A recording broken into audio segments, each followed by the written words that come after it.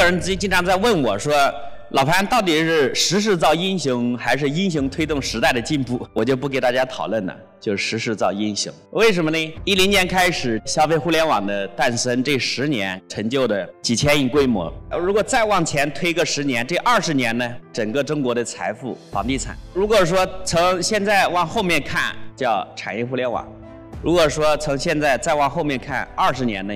碳中和，也就是未来二三十年的机会，碳中和和数字化结合，会让整个中国所有的产业都会重新优化。这是我个人的判断。为什么我一五年开始重新做一个爱家生活这样的一家公司？是因为从一零年开始，衣食住行重新在优化，也就是说，除了住这个领域之外。每个领域都有千亿级美金市值的公司，所以我给我们几个搭档说，住这个领域一定会出来千亿美金市值的公司。我说我们来干这个事儿，是不是我能干成？是不是我们也不一定，但是肯定有这个机会的。我们就这个原因来干的爱家的这个事儿。